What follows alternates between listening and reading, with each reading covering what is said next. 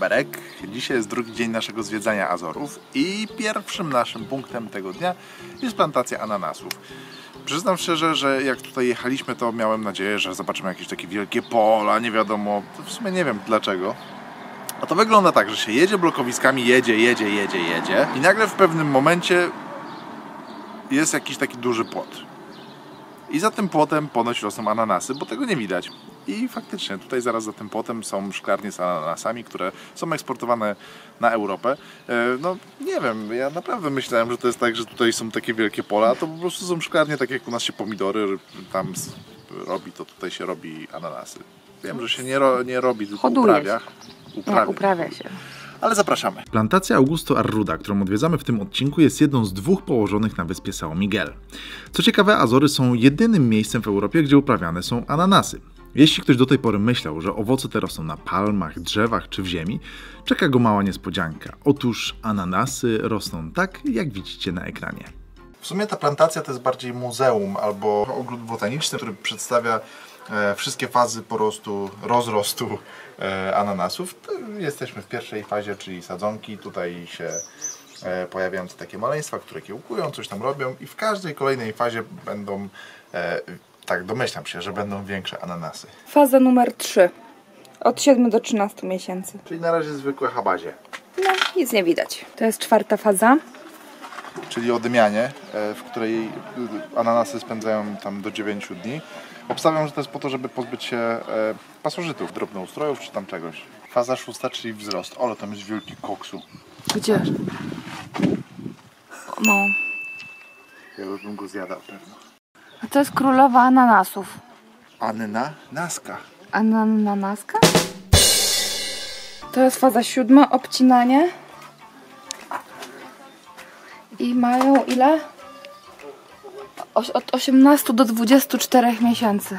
Po ostatniej fazie ananasy są ścinane i wysyłane do sklepów w całej Europie, gdzie można je kupić w przeróżnych formach. Świeże, puszkowane, jako soki, nalewki itd. Na terenie plantacji znajdziecie też mały sklep, w którym można kupić przeróżne pamiątki związane z ananasami, Azorami czy ogólnie Portugalią. Lecz jak łatwo się domyślić, ceny są tam typowo turystyczne, więc jeśli ktoś planuje kupić pamiątki, to polecamy poszukać mniejszych sklepików w mniej turystycznych rejonach. Jeżeli ktoś dotarł do tego momentu, to znaczy, że jest zainteresowany porostem ananasów. Dlatego dodam tylko, że ta plantacja powstała w 1850 roku e, i zajmuje się tym nieprzerwanie od tamtego czasu. Generalnie cała plantacja do zwiedzania jest za darmo, więc jeżeli ktoś ma wolne 15 minut, może tutaj przyjechać. A jeżeli nie macie inne rzeczy do robienia, możecie jechać w inne miejsce. Na przykład na punkt widokowy Miraduro do Monte Santo, na który prowadzi malownicza ścieżka zaczynająca się w mieście Agua de Pau. Ciekawostką może być to, że na trasie znajdują się stacje drogi krzyżowej, które przedstawione są na azulejos, czyli na charakterystycznych biało-niebieskich ceramicznych płytkach. Wczoraj byliśmy na dole w tym miasteczku Franco do, Villa Franco do Campa, tam gdzie teraz strzelają. E, W zasadzie cały czas nie wiemy dlaczego strzelają. Jeżeli znajdzie się jakaś osoba mieszkająca w Portugalii, albo to jest charakterystyczne tylko dla wyspy, bo też nie wiemy, e, to niech powie skąd wynikają takie wystrzały w dzień. To są jakby wystrzały armatnie, albo wystrzały takich fajerwerków bez rozbłysków, tylko, tylko takie hukowe. Dzisiaj stwierdziliśmy, że ominęliśmy jeden punkt wczoraj. E, więc dzisiaj chcemy to nadrobić. Jest to kościółek e, mieszczący się na samej górze tutaj nad miastem. Jest to bardzo ładny, ładne miejsce położone na wzgórzu, jak już mówiłem, z kilkoma fajnymi schodami, no i z pięknym widokiem, jak wszędzie. Dlatego warto, warto wjeżdżać i szukać takich miejsc. Chociaż muszę przyznać, że dojazd tutaj wcale nie jest łatwy. Y, Google mówi co innego, ale jest nowa droga, więc niestety trzeba szukać tej starej drogi. Stara droga też jest taka bardzo nieintuicyjna, że trzeba po prostu stwierdzić, że się jedzie, aż się dojedzie. No i, no i dojechaliśmy.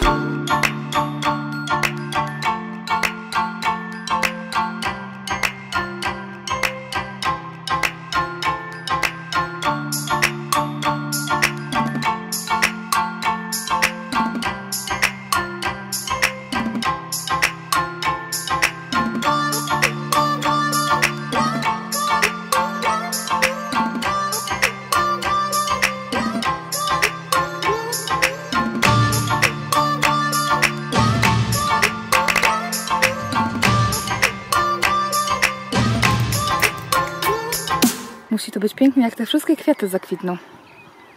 A my przyjechaliśmy w maju, czyli pewnie latem będą kwitły. Więc polecamy lato na wizytę na Azorach. Kolejny z punktów widokowych nieplanowanych. Po prostu jechaliśmy i zjechaliśmy. No dobra, może nie do końca. Trochę planowaliśmy tutaj przyjechać, bo zobaczyliśmy na mapie jakiś punkt widokowy. No a jest niesamowicie. Po prostu, no zresztą rzućcie okiem.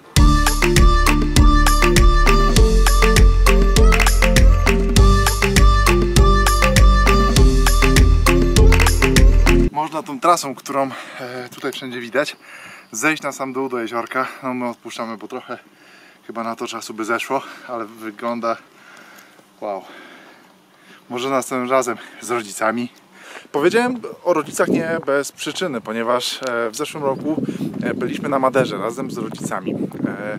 I tam okazało się na tych wszystkich lewadach, krętych drogach, po górach, po tym wszystkim, że rodzice naprawdę są najlepszymi kompanami e, podróży i nie tylko jak się ma te 3-4 lata, kiedy jest się dzieckiem, ale również kiedy jest się dorosłym i mam nadzieję, że jeszcze takich wycieczek jak wtedy uda się e, wykonać przynajmniej kilka, zrobić przynajmniej kilka i tym razem je nagrać, ponieważ ostatnim razem jak byliśmy na Maderze, no po prostu nie myśleliśmy o kręceniu, bo gdzieś tam może to było z tyłu głowy, a, a pomysł powstał dopiero jakiś czas później.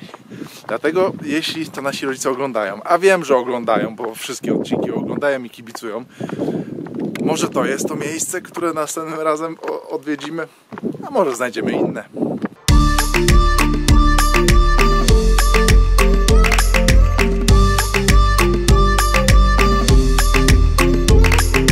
Dotarliśmy do jednego z tych miejsc, które wszystkie przewodniki mówią, że nie można pominąć. Jest to miejsce, które jest bardzo charakterystyczne, jest bardzo ciekawe ponoć e, oraz no, takie must see właśnie na Azorach, czyli jest to e, plantacja herbaty. Tutaj też jest, znajduje się muzeum, w, której, e, w którym oprowadzają i pokazują cały proces tworzenia, parzenia i tak dalej herbaty, łącznie z testowaniem, próbowaniem, ale jest niedziela i jest zamknięte. No trudno, no Boże, no co zrobić, no bywa i tak. Ale szczęśliwi czasu nie liczą. No skąd mogliśmy wiedzieć, że jest niedziela?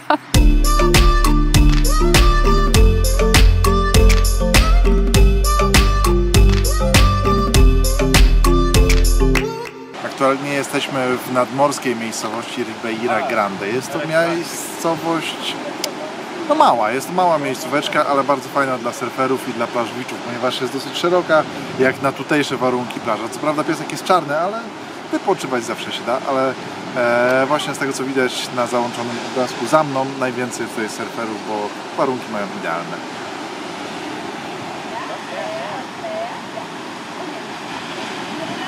Na koniec dnia wchodzimy do restauracji, która ponoć serwuje najlepsze steki na całej wyspie. Ja się nie mogę doczekać. Nie wiem, czy w środku uda nam się kręcić, bo to widać jest taka trochę fancy on ale zobaczymy. Jeżeli się uda, to nakręcimy w środku, a jeżeli się nie uda, to później taką przebitkę, jak już będziemy Z pełnymi blusiami. tasy. Czy, czy nas wpuszcza w, w tych ubraniach Ja wiem, roboczych? tak się zastanawiam. Jesteśmy już po, tak jak myślałem, w środku nie mogliśmy kręcić, bo no wiadomo, restauracja trochę nie wypada. Ale powiem Wam, że e, jeżeli kiedykolwiek będziecie na Azorach i jesteście fanami dobrego mięsa, w szczególności dobrych steków, jest to miejsce, w którym znajdziecie na pewno coś dla siebie. E, ceny są zróżnicowane, bo waha się to od chyba najtańszego steka za 12 euro do najdroższego 20 do 22. Także no nie jest to najtańsza restauracja, ale to, co podają na talerzach, jest to po prostu poezja. Naprawdę, jeżeli miałbym oceniać, to jedzenie to jest takie mocne 8 na 10. To jest naprawdę perfekcja. Jest, było pyszne, było, było delikatne, rozpływało się w ustach. E, no, ja jestem fanem wołowiny, więc tym bardziej znalazłem tutaj e, się jak w raju. E, w każdym razie podają też inne rzeczy, jakąś wieprzowinę, jakieś ryby, no ale tutaj e, daniem dnia, daniem restauracji jest właśnie wołowina i to ich sztandarowy sz- stek, czyli stek asociação. Nie wiem, czy dobrze to wymawiam, jest to stek właśnie e, z tej restauracji podawany razem e, w sosie winnym, z czosnkiem, z papryką marynowaną Jajkiem. palce lizać i jajkiem i do tego frytki. E, także nie będziemy już dłużej Was zamęczać, po prostu życzymy miłej nocy i my tą noc też miło spędzimy. Do zobaczenia.